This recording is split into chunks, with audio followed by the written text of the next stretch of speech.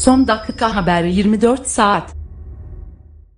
Bülent Cankurt bugün Günaydın'daki köşesinde Emine Sandal'ın Novi Pazar şehrindeki aile yadigarı evine yaptırdığı tadilatı yazdı. Mustafa Emine Sandal çiftinin 10 yıllık evliliğinin çatırdamasıyla ilgili, ihanette dahil olmak üzere pek çok rivayet ortaya atılmıştı.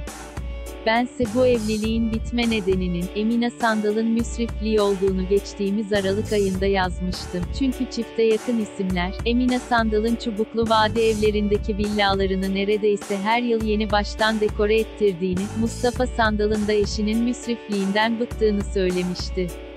Evet SPA bile yaptırmış, bu söylentiyi destekleyen yeni bilgiler kulağıma geldi ve artık bu evliliğin kesinlikle para yüzünden bittiğine inandım. Öğrendim ki, daha boşanmadan kızlık soyadını kullanmaya başlayan Emina Jahovic, bir süre önce Sırbistan'ın Novi Pazar şehrinde doğduğu evi baştan sona yeniletmiş.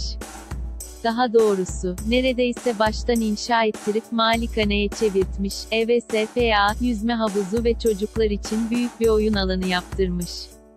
Bunun için de yaklaşık 500 bin euro harcamış, bu arada yaklaşık 90 bin nüfusa sahip, klasik bir Anadolu şehrinden pek farkı olmayan Novi Pazar'da en pahalı evin 50 bin euro civarında olduğu söyleniyor.